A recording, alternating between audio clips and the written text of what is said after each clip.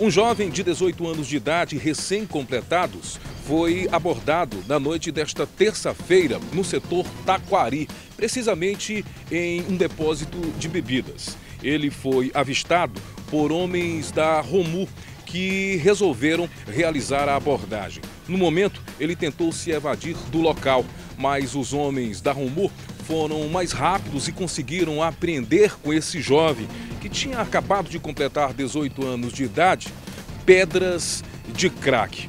Nós conversamos com a equipe que realizou a abordagem e que nos conta agora exatamente o que aconteceu. equipe de Romu, em patrulhamento no setor Taquari, na avenida principal, é, avista indivíduo que ao perceber a presença da viatura, é, tentou se evadir a pé, soltando ao chão é, uns invólucros com algumas quantidades de substâncias análogas à droga, como crack, sendo 23 pedras de crack fracionadas, prontas para o tráfico, sendo também uma bucha considerável de uma quantidade análoga à cocaína e também é, dólares de substância análoga à maconha.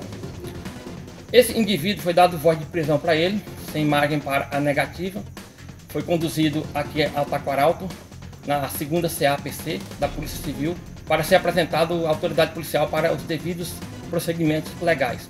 O que chama a atenção desse indivíduo que ele tem várias passagens, sendo 157, 155, roubo, furto, né? Tentou entrar no presídio já com celular. Quando menor de idade, já teve passagem pelo CASE aqui de Palmas, do mesmo setor Taquari. Então é um indivíduo que é quanto mais no crime.